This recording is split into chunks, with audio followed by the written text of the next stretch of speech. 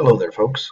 This quick video today is going to show you how to use Excel to mass produce tags or mass uh, make a bunch of tags for Crimson uh, 3 software.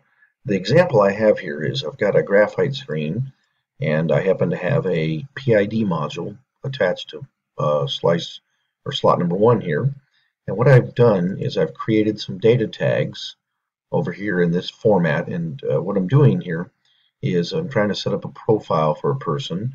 And I'll show you here uh, within profile uh, you've got uh, lots of different uh, tags.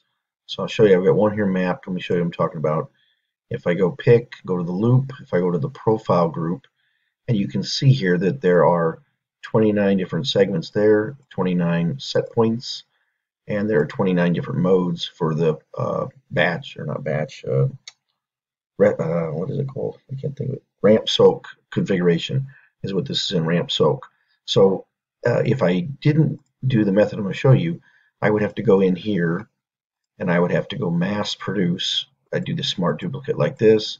And you can see there's a problem with this. For one, this increments here, but over here it's not incrementing to the next segment one.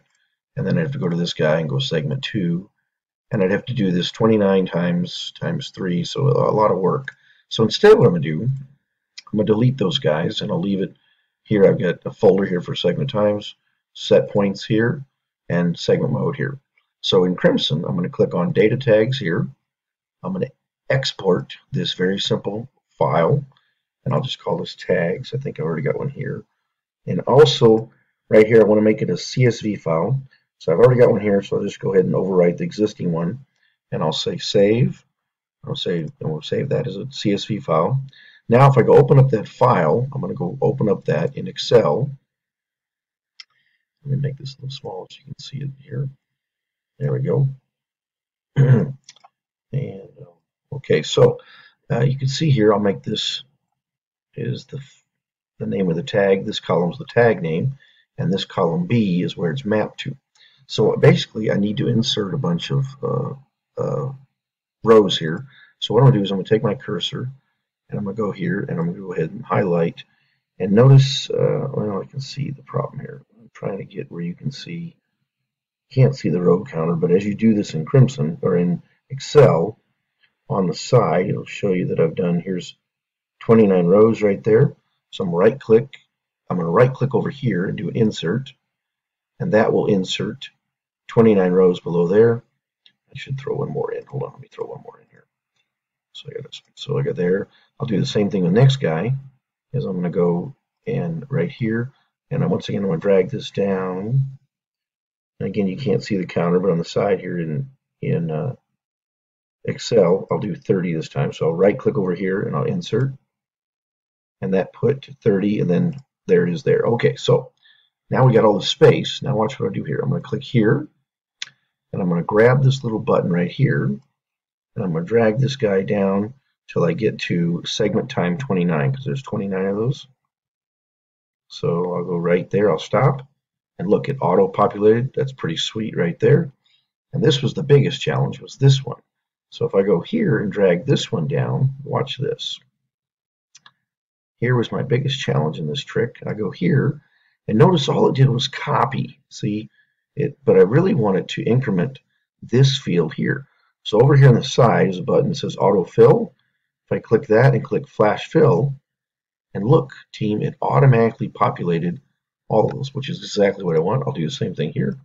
I'll drag this guy down to put in 29 of these. I'll stop right there. Boom. Perfect. And I'll go ahead and grab this guy, and I'll do the same thing with this column once again. I'll drag this all the way down here right about to there. Notice it makes a copy. You can use the flash fill here by clicking on here, or you can hit the pull down up here and do flash fill. Now, of course, that failed that time. I'll do it from here. Boom. There it fills in automatically right there. That's what I want. And I'll do it one more time right here.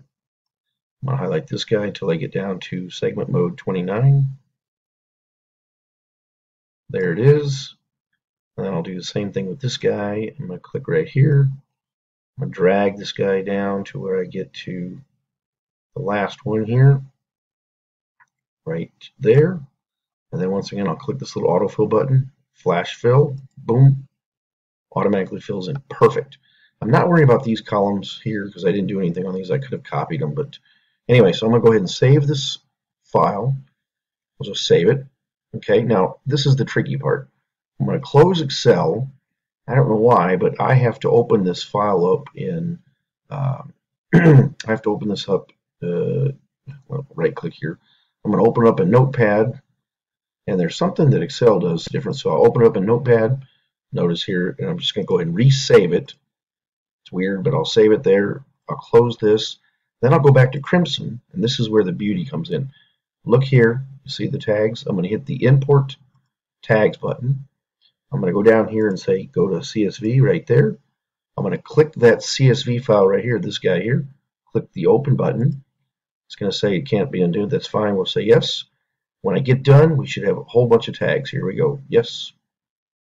Okay, populated. I'll go expand this tree. Look at this. I'll expand the profile. Here's those categories. Look at here. It automatically brought them all in. And here's the best part. Boom, boom, boom. Look at this. It automatically incremented. That's exactly what I wanted.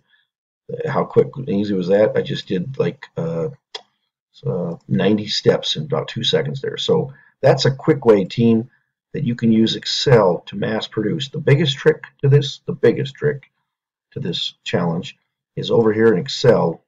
Um, it, my biggest challenge for this was getting this column here to auto-populate, and I use that uh, fill, what do they call it? Flash fill function to do that. So that's the biggest trick. But uh, once you get that down, uh, it works pretty sweet. So anyway, I just thought I'd make a quick video because it took me forever to figure out that flash fill. Hey, thanks a lot. Have a great day, folks. See ya.